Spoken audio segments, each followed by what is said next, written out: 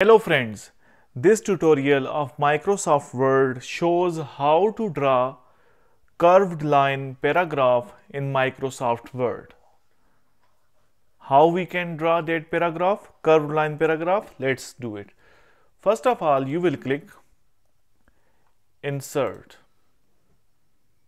Shapes, Line. Click the line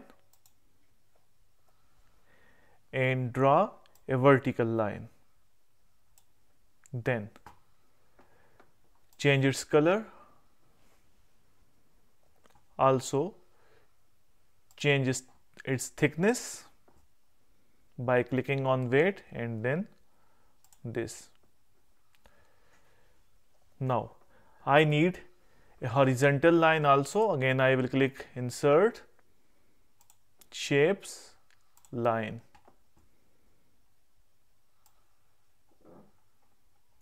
and I will draw this line like this. I will change it. I will change its thickness.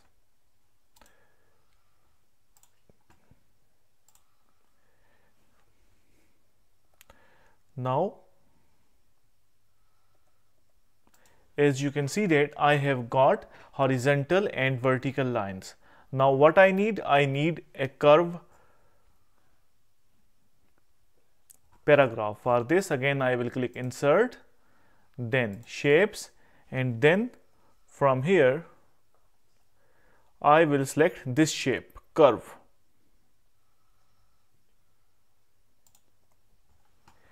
And I will draw a curve. First of all, I'll, I will left click, then from where you need a bend, click there and then a click here double click here.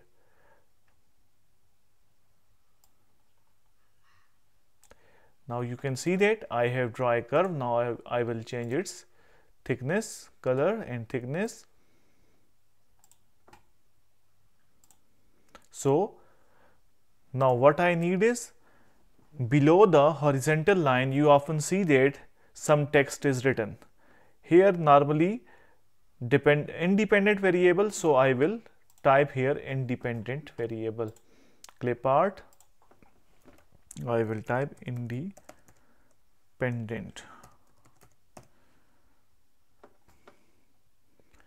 I will select this text and I will decrease its size. I will drag it down to here. Now in other text I will need for vertical line. Again I will click insert.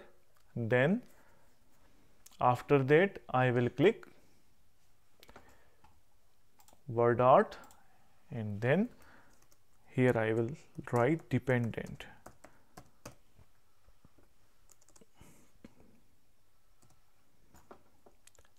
I will select the text and then decrease its size to 18 or 20 I will drag it to the side. So, this is how you can now also you can rotate it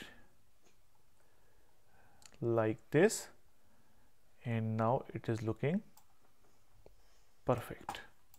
So, this is how you can draw a curved line paragraph in Microsoft Word.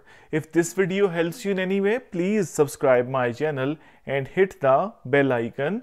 Thanks for watching. Thanks for your time. Goodbye.